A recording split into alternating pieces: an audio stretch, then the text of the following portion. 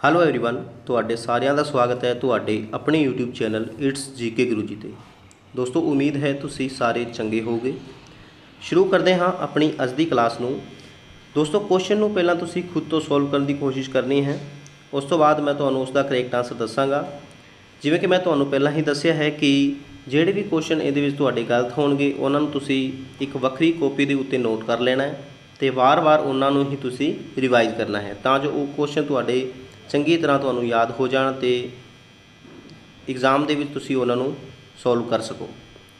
ਕਿਉਂਕਿ ਐਗਜ਼ਾਮ ਦੇ ਵਿੱਚ, ਪੰਜਾਬ ਦੇ ਵਿੱਚ ਕੀ ਹੁੰਦਾ ਹੈ ਦੋਸਤੋ, ਇਹੀ ਕੁਐਸਚਨ ਬਾਰ-ਬਾਰ ਰਿਪੀਟ ਹੁੰਦੇ ਰਹਿੰਦੇ ਨੇ। ਸੋ ਇਸ ਕਰਕੇ ਇੱਕ ਜਿਹੜੇ ਕੁਐਸਚਨ ਨੇ ਕਾਫੀ ਇੰਪੋਰਟੈਂਟ ਹੋ ਜਾਂਦੇ ਨੇ। ਸੋ ਇਹਨਾਂ ਨੂੰ ਤੁਸੀਂ ਚੰਗੀ ਤਰ੍ਹਾਂ ਯਾਦ ਕਰ ਲੈਣਾ ਹੈ। ਜੇਕਰ ਦੋਸਤੋ ਵੀਡੀਓ ਤੁਹਾਨੂੰ ਚੰਗੀ ਲੱਗੇ, ਤਾਂ ਵੀਡੀਓ ਨੂੰ ਲਾਈਕ ਕਰ ਦਿਆ ਜੇ ਤੇ ਇੱਕ ਵਾਰੀ ਜਿਹੜਾ ਸੈਸ਼ਨ ਹੈ ਜੀ, ਉਹ ਆਪਣੇ ਦੋਸਤਾਂ ਦੇ ਨਾਲ ਸ਼ੇਅਰ ਜ਼ਰੂਰ ਕਰੋ, ਤਾਂ ਜੋ ਵੱਧ ਤੋਂ ਵੱਧ ਬੱਚੇ ਆਪਣੇ ਨਾਲ ਜੁੜ ਸਕਣ। ਸ਼ੁਰੂ ਕਰਦੇ ਹਾਂ ਆਪਣੀ ਕਲਾਸ ਨੂੰ। ਆਪਣਾ ਫਸਟ ਕੁਐਸਚਨ ਹੈ, ਗੁਰਬਾਣੀ ਵਿੱਚ ਬਸੰਤ ਦੀ ਵਾਰ ਤੋਂ ਭਾਵ ਹੈ। ਤੁਸੀਂ ਦੱਸਣਾ ਹੈ ਕਿ ਗੁਰਬਾਣੀ ਵਿੱਚ ਬਸੰਤ ਦੀ ਜਿਹੜੀ ਵਾਰ ਹੈ ਜੀ, ਉਸ ਤੋਂ ਕੀ ਭਾਵ ਹੈ? ਚਾਰ ਆਪਸ਼ਨ ਤੁਹਾਡੇ ਕੋਲ ਹੈਗੇ ਨੇ। ਇਸ ਦਾ ਕਰੈਕਟ ਆਨਸਰ ਹੈ ਜੀ ਆਪਣੇ ਕੋਲ। ਆਪਸ਼ਨ ਨੰਬਰ ਏ ਵਿਸ਼ੇਸ਼ ਰੁੱਤ ਅਤੇ ਰਾਗ ਨਾਲ ਸੰਬੰਧਿਤ। ਕੀ ਹੈਗਾ ਜੀ? ਵਿਸ਼ੇਸ਼ ਰੁੱਤ ਅਤੇ ਰਾਗ ਨਾਲ ਸੰਬੰਧਿਤ ਹੈਗੀ ਹੈ ਗੁਰਬਾਣੀ ਦੇ ਵਿੱਚ ਜਿਹੜੀ ਬਸੰਤ ਦੀ ਵਾਰ ਹੈਗੀ ਹੈ। ਆਪਣਾ ਨੈਕਸਟ ਕੁਐਸਚਨ ਹੈ, ਗੁਰੂ ਗ੍ਰੰਥ ਸਾਹਿਬ ਵਿੱਚ ਅੰਜੂਲੀਆਂ ਉਹ ਕਾਵ ਭੇਦ ਹੈ ਜਿਸ ਵਿੱਚ, ਤੁਸੀਂ ਦੱਸਣਾ ਹੈ ਕਿ ਗੁਰੂ ਗ੍ਰੰਥ ਸਾਹਿਬ ਵਿੱਚ ਜਿਹੜੀਆਂ ਅੰਜੂਲੀਆਂ ਨੇ, ਉਹ ਕਿਹੜਾ ਕਾਵ ਭੇਦ ਹੈ? ਚਾਰ ਆਪਸ਼ਨ ਤੁਹਾਡੇ ਕੋਲ ਹੈਗੇ ਨੇ। ਇਸ ਦਾ ਕਰੈਕਟ ਆਨਸਰ ਹੈ ਜੀ ਆਪਣੇ ਕੋਲ। ਆਪਸ਼ਨ ਨੰਬਰ ਏ ਅਰਜੋਈ ਦੀ ਧੁਨ ਪ੍ਰਦਾਨ ਹੁੰਦੀ ਹੈ। ਕੀ ਹੁੰਦਾ ਹੈ ਦੋਸਤੋ? ਅਰਜੋਈ ਦੀ ਧੁਨ ਪ੍ਰਦਾਨ ਹੁੰਦੀ ਹੈ। ਆਪਣਾ ਨੈਕਸਟ ਕੁਐਸਚਨ ਹੈ, ਗੁਰੂ ਨਾਨਕ ਦੇਵ ਜੀ ਦੇ ਜੀਵਨ ਦਰਸ਼ਨ ਨਾਲ ਵਾਬਸਤਾ ਪੁਸਤਕ ਕੱਤਕ ਕੀ ਵਿਸਾਖੀ ਦਾ ਕਰਤਾ ਕੌਣ ਹੈ? ਯਾਨੀ ਕੱਤਕ ਦੀ ਜਿਹੜੀ ਵਿਸਾਖੀ ਜਿਹੜੀ ਹੈਗੀ ਜੀ ਪੁਸਤਕ, ਉਹਦਾ ਕਰਤਾ ਕੌਣ ਹੈ? ਇਹ ਤੁਸੀਂ ਦੱਸਣਾ ਹੈ। ਇਸ ਦਾ ਕਰੈਕਟ ਆਨਸਰ ਹੈ ਜੀ ਆਪਣੇ ਕੋਲ option number B Karam Singh. ਕੱਤਕ ਕੀ ਵਿਸਾਖੀ ਦਾ ਕਰਤਾ ਕੌਣ ਹੈ ਦੋਸਤੋ? ਕਰਮ ਸਿੰਘ। ਆਪਣਾ ਨੈਕਸਟ ਕੁਐਸਚਨ ਵੇਖਦੇ ਹਾਂ।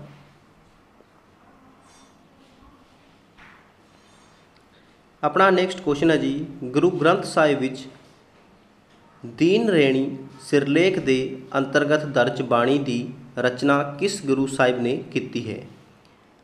ਦਿਨ ਰੇਣੀ ਜਿਹੜਾ ਸਿਰਲੇਖ ਹੈ ਜੀ, ਉਹਦੇ ਅੰਤਰਗਤ ਜਿਹੜੀ ਦਰਜ ਬਾਣੀ ਹੈ ਜੀ, ਉਹਦੀ ਰਚਨਾ ਕਿਸ ਨੇ ਕੀਤੀ ਹੈ, ਇਹ ਤੁਸੀਂ ਦੱਸਣਾ ਹੈ। ਗੁਰੂ ਗ੍ਰੰਥ ਸਾਹਿਬ ਦੇ ਵਿੱਚ ਚਾਰ ਆਪਸ਼ਨ ਤੁਹਾਡੇ ਕੋਲ ਹੈਗੇ ਨੇ।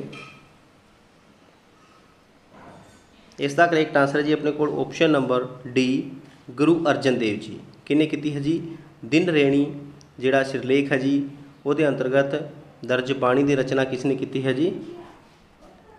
ਗੁਰੂ ਅਰਜਨ ਦੇਵ ਜੀ ਨੇ। ਆਏ ਬਾਣੀ ਕਿਹਦੇ ਵਿੱਚ ਦਰਜ ਹੈਗੀ ਹੈ? ਗੁਰੂ। ਆਪਣਾ ਨੈਕਸਟ ਕੁਐਸਚਨ ਹੈ ਤ੍ਰਿਹ ਗੁਣ ਮੇ ਵਰਤੇ ਸੰਸਾਰਾ, ਨਰਕ ਸੁਰਗ, ਫਿਰ ਫਿਰ ਅਵਤਾਰਾ। ਗੁਰਬਾਣੀ ਦੇ ਇਸ ਸ਼ਬਦ ਵਿੱਚ ਤ੍ਰਿਹ ਗੁਣ ਤੋਂ ਕੀ ਭਾਵ ਹੈ? ਤੁਸੀਂ ਦੱਸਣਾ ਹੈ ਕਿ ਗੁਰਬਾਣੀ ਦੇ ਇਹ ਜਿਹੜੇ ਸ਼ਬਦ ਹੈ ਨੇ, ਇਹਦੇ ਵਿੱਚ ਜਿਹੜਾ ਤ੍ਰਿਹ ਗੁਣ ਤੋਂ ਕੀ ਭਾਵ ਹੈਗਾ ਹੈ? ਚਾਰ ਆਪਸ਼ਨ ਤੁਹਾਡੇ ਕੋਲ ਹੈਗੇ ਨੇ। ਇਸ ਦਾ ਕਰੈਕਟ ਆਨਸਰ ਹੈ ਜੀ ਆਪਣੇ ਕੋਲ ਆਪਸ਼ਨ ਨੰਬਰ ਸੀ ਰਜ ਭੰਮ ਤੇ ਸਤ। ਆਪਣਾ ਨੈਕਸਟ ਕੁਐਸਚਨ ਹੈ। ਬਾਬਾ ਫਰੀਦ ਜੀ ਦੇ ਸ਼ਲੋਕਾਂ ਸੰਬੰਧੀ ਟਿੱਪਣੀ ਰੂਪ ਵਿੱਚ ਗੁਰੂ ਸਾਹਿਬਾਨ ਦੇ 18 ਸ਼ਲੋਕ ਦਰਜ ਹਨ। ਨਿਮਨ ਲਿਖਤ ਚੋਂ ਕਿਸ ਗੁਰੂ ਸਾਹਿਬਾਨ ਨੇ ਟਿੱਪਣੀ ਵਜੋਂ ਸ਼ਲੋਕ ਦਰਜ ਨਹੀਂ ਕੀਤੇ? ਤੁਸੀਂ ਦੱਸਣਾ ਹੈ ਕਿ ਇਹਨਾਂ ਵਿੱਚੋਂ ਕਿਹੜੇ ਗੁਰੂ ਜੀ ਹੈਗੇ ਨੇ, ਜਿਨ੍ਹਾਂ ਨੇ ਟਿੱਪਣੀ ਵਜੋਂ ਸਿਰਲੇਖ ਜਿਹੜੇ ਹੈ ਦਰਜ ਨਹੀਂ ਕੀਤੇ ਨੇ? ਇਸ ਦਾ ਕਰੈਕਟ ਆਨਸਰ ਹੈ ਜੀ ਆਪਣੇ ਕੋਲ option number B Guru Angad Dev ji. ਕੌਣ ਹੈਗੇ ਨੇ ਦੋਸਤੋ? ਗੁਰੂ ਅੰਗਦ ਦੇਵ ਜੀ। ਆਪਣਾ ਨੈਕਸਟ ਕੁਐਸਚਨ ਹੈ, ਗੁਰੂ ਗ੍ਰੰਥ ਸਾਹਿਬ ਵਿੱਚ ਦਰਜ ਬਾਣੀ ਘੋੜੀਆਂ ਕਿਸ ਗੁਰੂ ਸਾਹਿਬ ਦੀ ਰਚਨਾ ਹੈ? ਘੋੜੀਆਂ ਕਿਸ ਗੁਰੂ ਸਾਹਿਬ ਦੀ ਰਚਨਾ ਹੈ? ਇਹ ਤੁਸੀਂ ਦੱਸਣਾ ਹੈ ਜੀ। ਇਸ ਦਾ ਕਰੈਕਟ ਆਨਸਰ ਹੈ ਜੀ ਆਪਣੇ ਕੋਲ option number A Guru Ramdas ji. ਘੋੜੀਆਂ ਕਿਸ ਕਿਸ ਗੁਰੂ ਸਾਹਿਬ ਦੀ ਜਿਹੜੀ ਹੈ ਦੇਣ ਹੈ ਜੀ, ਇਹ ਹੈਗੀ ਜੀ ਗੁਰੂ ਰਾਮਦਾਸ ਜੀ। ਨੈਕਸਟ ਕੁਐਸਚਨ ਵੇਖਦੇ ਹਾਂ।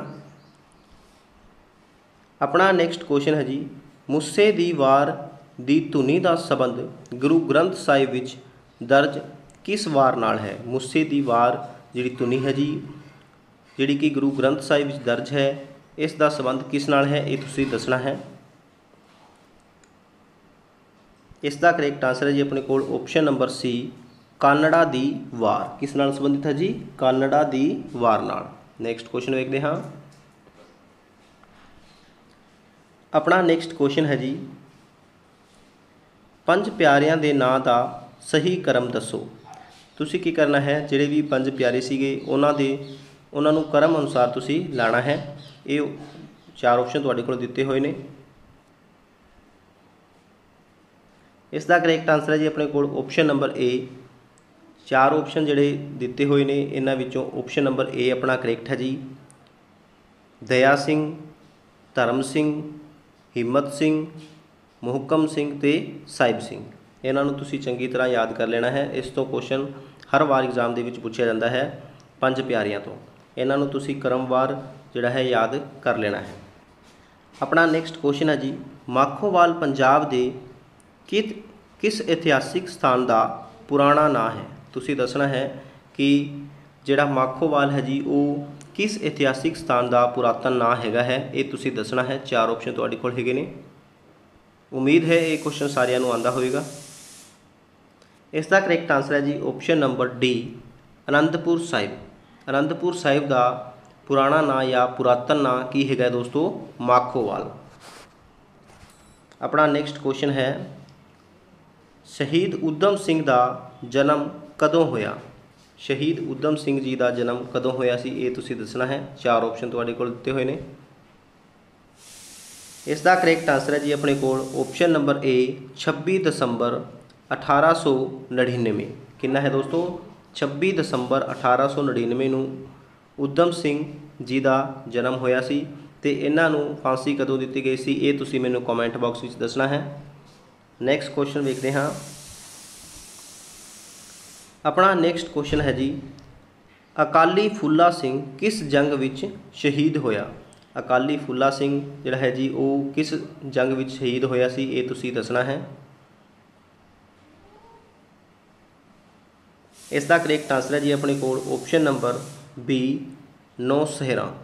ਨੌ ਸਹਿਰਾ ਦੇ ਜੰਗ ਵਿੱਚ ਜਿਹੜਾ ਹੈ, ਅਕਾਲੀ ਫੁੱਲਾ ਸਿੰਘ ਸ਼ਹੀਦ ਹੋ ਗਿਆ ਸੀ। ਨੈਕਸਟ ਕੁਐਸਚਨ ਵੇਖਦੇ ਹਾਂ। ਗੁਲਾਬ ਸਿੰਘ ਕਿਹੜੀ ਮਿਸਲ ਦਾ ਬਾਨੀ ਸੀ? ਇਹ ਤੁਸੀਂ ਮੈਨੂੰ ਕਮੈਂਟ ਕਮੈਂਟ ਬਾਕਸ ਵਿੱਚ ਦੱਸੋ ਕਿ ਗੁਲਾਬ ਸਿੰਘ ਜਿਹੜਾ ਹੈ ਜੀ, ਉਹ ਕਿਹੜੀ ਮਿਸਲ ਦਾ ਬਾਨੀ ਸੀ? ਇਸ ਦਾ ਕਰੈਕਟ ਆਨਸਰ ਹੋ ਜਾਏਗਾ ਆਪਣੇ ਕੋਲ ਆਪਸ਼ਨ ਨੰਬਰ ਸੀ ਡੱਲੇ ਵਾਲੀਆ ਮਿਸਲ।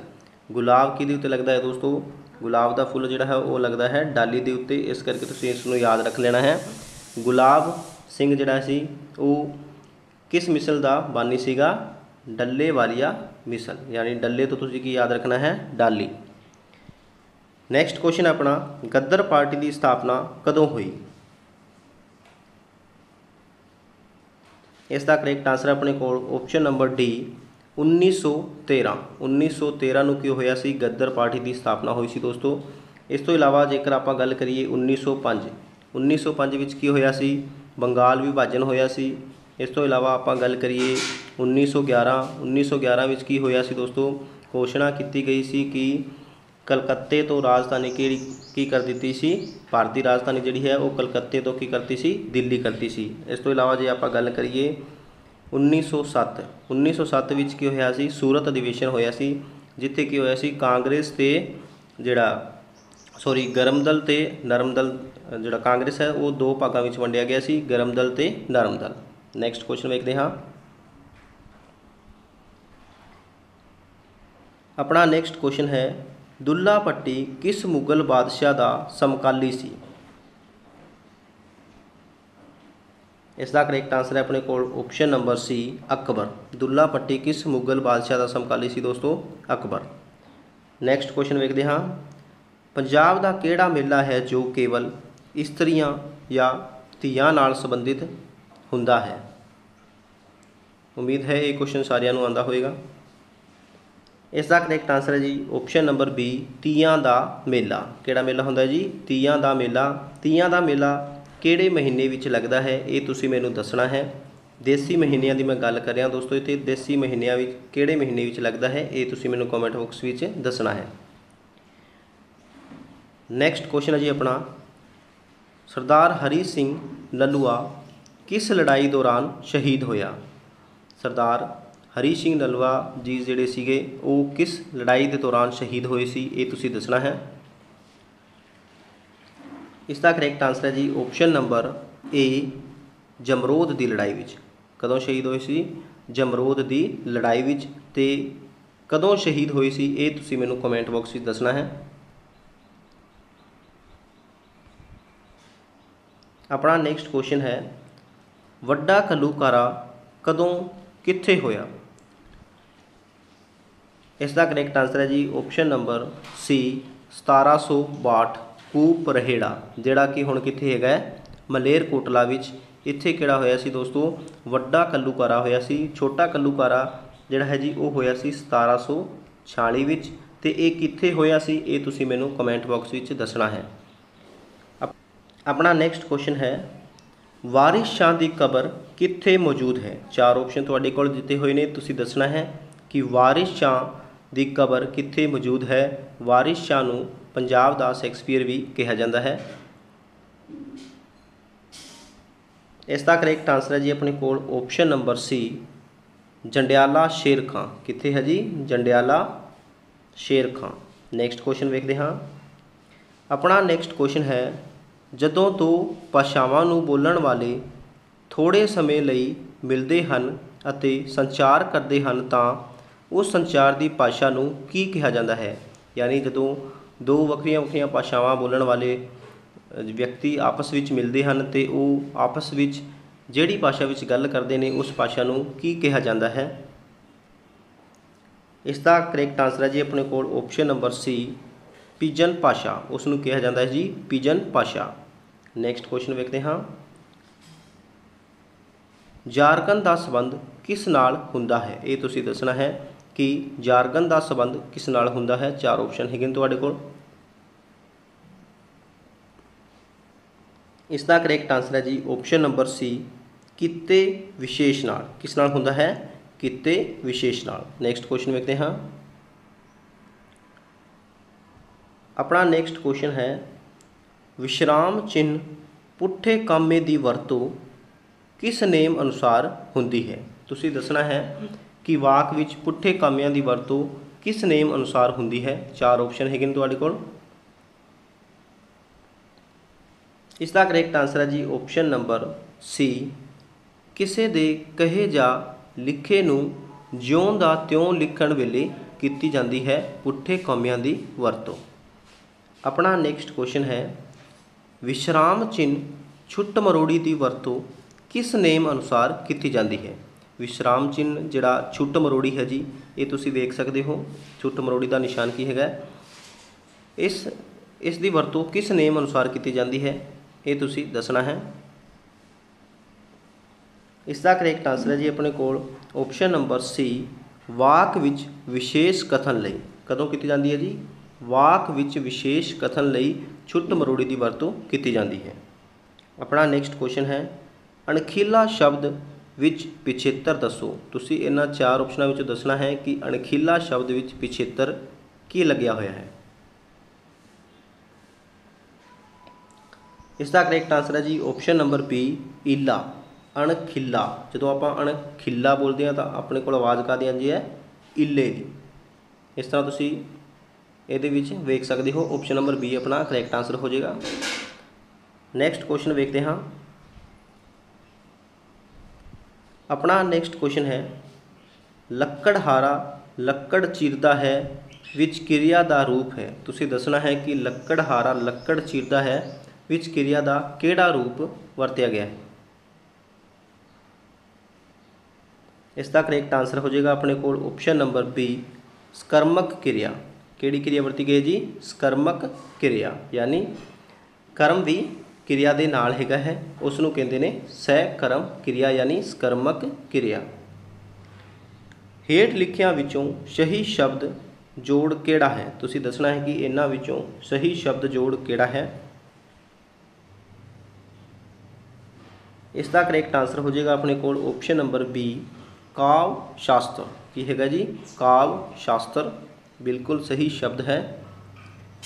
ਆਪਣਾ ਨੈਕਸਟ ਕੁਐਸਚਨ ਹੈ, ਉਹ ਪੜ ਰਿਹਾ ਹੈ ਵਾਕ ਵਿੱਚ, ਰਿਹਾ ਕੀ ਹੈ? ਰਿਹਾ ਜਿਹੜਾ ਹੈ ਜੀ, ਇਸ ਵਾਕ ਵਿੱਚ ਕੀ ਹੈਗਾ ਹੈ? ਚਾਰ ਆਪਸ਼ਨ ਤੁਹਾਡੇ ਕੋਲ ਹੈਗੇ ਨੇ। ਇਸ ਦਾ ਕਰੈਕਟ ਆਨਸਰ ਹੈ ਜੀ ਆਪਸ਼ਨ ਨੰਬਰ ਡੀ ਸੰਚਾਲਕ ਕਿਰਿਆ। ਰਿਹਾ ਇਹ- ਇਸ ਵਾਕ ਵਿੱਚ ਰਿਹਾ ਜਿਹੜਾ ਹੈ ਜੀ, ਉਹ ਇੱਕ ਸੰਚਾਲਕ ਕਿਰਿਆ ਵਜੋਂ ਕੰਮ ਕਰ ਰਿਹਾ ਹੈ। ਨੈਕਸਟ ਕੁਐਸਚਨ ਵੇਖਦੇ ਹਾਂ। ਆਪਣਾ ਨੈਕਸਟ ਕੁਐਸਚਨ ਹੈ ਜੀ। ਮਿੱਥ ਤੇ ਦੰਤ ਕਥਾ ਵਿੱਚ ਵਕਰਤਾ ਦਾ ਆਧਾਰ ਹੈ। ਤੁਸੀਂ ਦੱਸਣਾ ਹੈ ਕਿ ਮਿੱਥ ਤੇ ਦੰਤ ਕਥਾ ਵਿੱਚ ਵਕਰਤਾ ਦਾ ਆਧਾਰ ਕੀ ਹੈ? ਯਾਨੀ ਇਹਨਾਂ ਦੋਵਾਂ ਵਿੱਚ ਵਖਰੇਵਾ ਕਿਸ ਦੇ ਬੇਸ ਹੈ? ਇਸ ਦਾ ਕਰੈਕਟ ਆਨਸਰ ਹੈ ਆਪਣੇ ਕੋਲ ਆਪਸ਼ਨ ਨੰਬਰ ਸੀ ਇਤਿਹਾਸ ਅਤੇ ਮਿਥਿਹਾਸ। ਯਾਨੀ ਮਿੱਥ ਜਿਹੜੇ ਹੈਗੇ ਨੇ ਉਹ ਕੀ ਹੈਗਾ ਇਤਿਹਾਸ ਹੈਗਾ ਹੈ ਤੇ ਦੰਤ ਕਥਾ ਜਿਹੜੀ ਹੈ ਜੀ, ਉਹ ਕੀ ਹੈਗਾ ਮਿਥਿਹਾਸ ਹੈਗਾ ਨੈਕਸਟ ਕੁਐਸਚਨ ਆਪਣਾ ਵੇਖਦੇ ਹਾਂ। ਛੰਦ ਪਰਾਗੇ ਦਾ ਸੰਬੰਧ ਹੈ। ਛੰਦ ਪਰਾਗੇ ਦਾ ਸੰਬੰਧ ਕਿਸ ਨਾਲ ਹੈ? ਚਾਰ ਆਪਸ਼ਨ ਤੁਹਾਡੇ ਕੋਲ ਦਿੱਤੇ ਹੋਏ ਨੇ। ਇਸ ਦਾ ਕਰੈਕਟ ਆਨਸਰ ਹੈ ਆਪਣੇ ਕੋਲ ਆਪਸ਼ਨ ਨੰਬਰ ਬੀ ਲਿਆਕਤ ਬੁੱਧੀ ਦੀ ਪਰਖ ਨਾਲ। ਜਿਹੜੀ ਛੰਦ ਪਰਾਗੇ ਦਾ ਸੰਬੰਧ ਕਿਸ ਨਾਲ ਹੈ ਜੀ? ਲਿਆਕਤ ਅਤੇ ਬੁੱਧੀ ਦੀ ਪਰਖ ਨਾਲ। ਨੈਕਸਟ ਕੁਐਸਚਨ ਆਪਣਾ। ਅਕ੍ਰਿਤਕਣ ਸ਼ਬਦ ਦੇ ਟੁਕਵੇਂ ਵਿਰੋਧਾਰਥਕ ਸ਼ਬਦ ਸੰਬੰਧੀ ਸਹੀ ਚੋਣ ਕਰੋ। ਤੁਸੀਂ ਦੱਸਣਾ ਹੈ ਕਿ ਐਕ੍ਰਿਤ ਕਣ ਸ਼ਬਦ ਦਾ ਵਿਰੋਧੀ ਸ਼ਬਦ ਕੀ ਹੈ? ਇਸ ਦਾ ਕਰੈਕਟ ਆਨਸਰ ਹੈ ਆਪਣੇ ਕੋਲ ਆਪਸ਼ਨ ਨੰਬਰ ਏ ਕ੍ਰਿਤਕਣ ਕੀ ਹੈਗਾ ਜੀ? ਕ੍ਰਿਤੰਗ ਵੀ ਲਿਖਿਆ ਆ ਸਕਦਾ ਹੈ ਜਾਂ ਕ੍ਰਿਤਕਣ ਵੀ ਲਿਖਿਆ ਆ ਸਕਦਾ ਹੈ। ਤਾਂ ਇੱਥੇ ਆਪਣਾ ਆਪਸ਼ਨ ਨੰਬਰ ਏ ਕਰੈਕਟ ਹੋ ਜਾਏਗਾ, ਕ੍ਰਿਤੰਗ। ਜੇਕਰ ਦੋਸਤੋ ਵੀਡੀਓ ਤੁਹਾਨੂੰ ਚੰਗੀ ਲੱਗੀ ਹੋਵੇ ਤਾਂ ਵੀਡੀਓ ਨੂੰ ਲਾਈਕ ਕਰ ਦਿਓ ਤੇ ਆਪਣੇ ਦੋਸਤਾਂ ਦੇ ਨਾਲ ਵੀਡੀਓ ਨੂੰ ਵੱਧ ਤੋਂ ਵੱਧ ਸ਼ੇਅਰ ਕਰੋ ਤੇ ਇੱਕ ਵਾਰੀ ਵੀਡੀਓ ਦਾ ਜਿਹੜਾ ਲਿੰਕ ਹੈ ਜੀ, ਉਹ ਆਪਣੇ ਸਟੇਟਸ ਵਿੱਚ ਜ਼ਰੂਰ ਲਾਓ ਤਾਂ ਜੋ ਬਾਕੀ ਤੁਹਾਡੇ ਦੋਸਤਾਂ ਨੂੰ ਵੀ ਉਸ ਦਾ ਪਤਾ ਲੱਗ ਸਕੇ ਤੇ ਉਹ ਵੀ ਇਸ ਦੀ ਤਿਆਰੀ ਕਰ ਸਕਣ। ਤੇ ਜੇਕਰ ਤੁਸੀਂ ਸਾਡੇ ਚੈਨਲ ਤੇ ਪਹਿਲੀ ਵਾਰ ਆਏ ਹੋ ਤਾਂ ਚੈਨਲ ਨੂੰ ਸਬਸਕ੍ਰਾਈਬ ਕਰ ਲਓ ਤੇ ਨਾਲ ਲੱਗੇ ਬੈਲ ਆਈਕਨ ਨੂੰ ਜ਼ਰੂਰ ਦਬਾਓ, ਜਿਸ ਨਾਲ ਕਿ ਸਾਡੀ ਨਈ ਨੋਟੀਫਿਕੇਸ਼ਨ ਤੁਹਾਡੇ ਤੱਕ ਪਹੁੰਚ ਜਾਵੇ। ਮਿਲਦੇ ਹਾਂ ਨੈਕਸਟ ਵੀਡੀਓ 'ਚ, ਤਬ ਤੱਕ ਲਈ ਟੇਕ ਕੇਅਰ।